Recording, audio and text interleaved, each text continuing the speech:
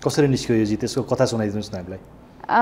यसमा ठुलो मेहनत छ ठुलो कसरत छ। हामीले भनौँ न ठुला दलहरूको एउटा सङ्गठन हुन्छ नेता उठ्दै पुग्छ त्यस पछाडि उहाँहरूको चाहिँ एउटा अर्कै खालको च्यानल हुन्छ क्या पैसा अनि खर्च गर्नुपर्ने पार्टी प्यालेस बाइकमा तेल हाल्ने गाडी यावत कुराहरू हुन्छ भने हाम्रो चाहिँ नितान्त नौलो अनुभव। त्यसमाथि पनि मेरो परिवार एउटा कुनै पनि राजनैतिक पृष्ठभूमि नबोकेको परिवार पार्टी पनि नयाँ सङ्गठन भए पनि राम्रोसँग विस्तार नभइसकेको सबैतिर चुनौती नै चुनौती अनि त्यसमाथि पनि अब क्याम्पेन गरौँ न इलेक्सन क्याम्पेन यो हाम्रो चुनावी कार्यक्रमहरूमा चाहिँ युवा पुस्ताहरू आएर गर्लान् नि त भनेर आश गरौँ भने पनि मेरा अधिकांश साथीहरू विदेश उठेका।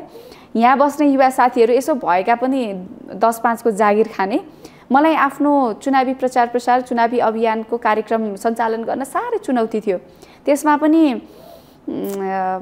साथीहरू नै नहुने क्या जस्तो अब महिला उम्मेदवार भएपछि त महिला साथीहरू भइदिँदा कति सजिलो हुन्थ्यो। जस्तो बोल्ने कुरामा हुनसक्छ आफूले आफ्ना मतदाताहरूलाई कन्भिन्स गर्ने कुराहरूमा हुनसक्छ। तर महिला साथीहरू चाहिँ एकदम दुःखको कुरा आउनु भएन क्या हामीले कुनै महिलाको मुद्दा भयो भनेदेखि सडकमा कति धेरै महिलाहरू देख्छौँ।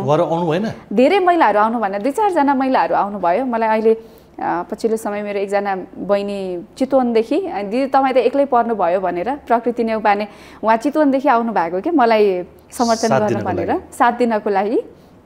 तर अरू खासै महिलाहरू चाहिँ भनौँ न मेरो जेनेरेसनको मेरो पुस्ता यो पुस्ता त विद्रोह गर्नुपर्छ युवाहरू राजनीतिमा आउनुपर्छ महिलाहरू चाहिँ इक्वल हुनुपर्छ भनेर आन्दोलन गर्ने पुस्ता हो नि त। खासै महिलाहरू चाहिँ आउनु भएन क्या।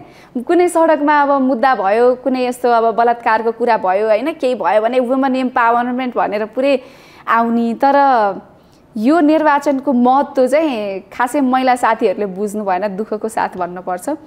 यदि उहाँहरूले साँच्चीकै साथ दिनुहुन्थ्यो भनेदेखि अझै बढी गजब हुन्थ्यो होला जुन हिसाबको मतान्तर छ अहिले। मैले जति मतान्तरले अहिले म निर्वाचित भएको छु त्यो अन्तर अझ धेरै बढाउन सकिन्थ्यो फराकिलो हुन्थ्यो होला। फराकिलो हुन्थ्यो होला।